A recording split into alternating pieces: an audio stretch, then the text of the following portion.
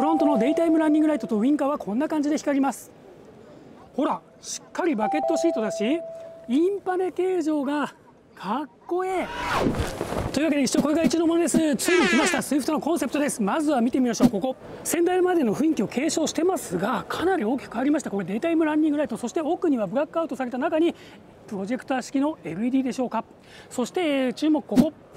これね実車がかなり魅力的です。このグリル周りの造形先代のイメージをさらに推し進めまして中央部分がねこうノーズコーンのように F1 のノーズコーンのようにぐっと前に突き出ています。そして全体。事前に公開されていたイメージ写真だとボンネット周りがものすごく丸く見えたんですが実際には確かにボンネット周り丸いんですがそれはですねこのフロントにかけての絞り込みを演出するための造形であって実はこのようにですねほら幅はしっかりと張り出した安定感あるフォルムになってるんです。さらにボンネット形状。これね横に回り込んでも面白い形でしてほらサイドの切り欠き線がこんなに分厚いんです。3次元のリット形状になってるんでした。そして注目はここ。フォグランプの部分のガーニッシュこれですねエアインテークのような形状になってます。インテークといえばここ。このように塗り分けられたスポイラー形状の奥にはですねほらエアガイドが入ってるんです。エアガイドといえばここ。フロントタイヤの全体にですねほらエアストレーキもしっかりついています。ですからこれ参考出品ではありますけれどもほぼほぼこの形で出るんじゃないでしょうか。で横。サイドスタイルもですねこのようにこれまでのイメージを踏襲してますが大きく変わった部分があります。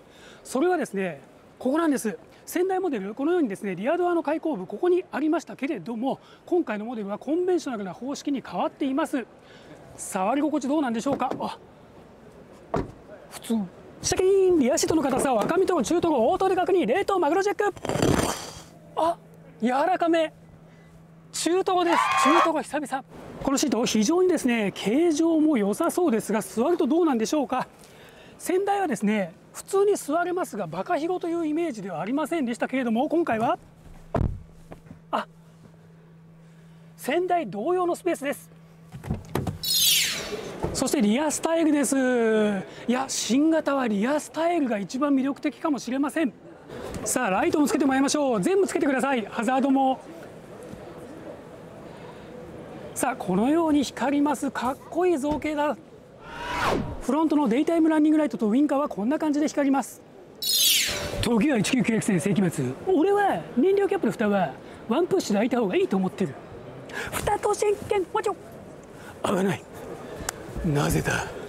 なぜだ？どこだ？なここだ。というわけで時間がかかってしまったが相手はしてもらうぞ。お前はすでに空いている。ファチャオ搭載エンジンはですね今のところ秘密なんですが私何年やってると思ってるんですかこの業界を。これ見ちゃえばもうすぐ何のエンジンか分かります。ほらほらほらほらほらほらほら分かりません。新型セフトコンセプトで舞踏会に行く人が気になるのがお化粧の足のためのミラーとライトがあるのかですよね。あるのかな？ないのかな？ぬってでおってであなかった。ライトがないから50点。そんなこと見てる場合じゃない。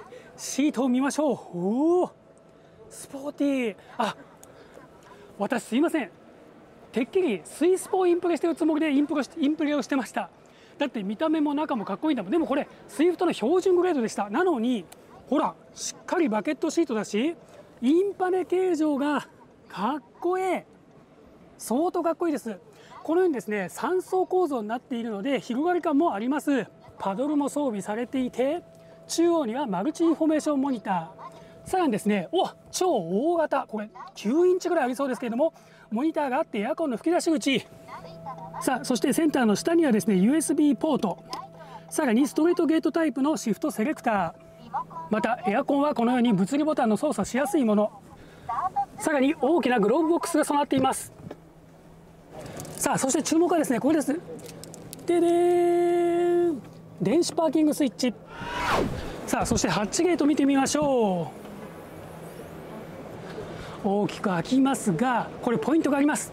スイフトといえばですね歴代全部がですねラゲッジスペースのバカ広い容積よりもですね必要十分な大きさを確保した上でいかにボディ剛性を高めるかというポイントがありましたが今回もこのようにですね開口部付近分厚くセットして剛性は高そうです。あそしてですねすいません。ラゲッジは明確に広がっております。というわけで現物見たら質感が上がってそしてかっちょよくなっていたスイフトでした。大変美味でした。ごちそうさまでした。